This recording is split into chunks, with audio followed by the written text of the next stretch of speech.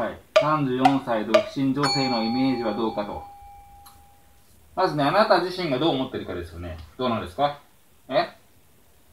まだまだ若く見られるし、趣味もあって、友達も独身が多いので、まだまだ大丈夫なのかなって思う。友達が結婚したら、私も婚活を始めようかと思ってる。なるほど。じゃあね、その友達がね、いつまで経っても結婚しなかったらどうするんですか？え？そもそも出会いがない。それに年齢も年齢なので、婚活パーティーに行っても、若い人に相手にされないんじゃないかと心配。ならね、私と結婚しましょう。あなたをきっと天国に連れて行きます。え？冗談も許してくれ。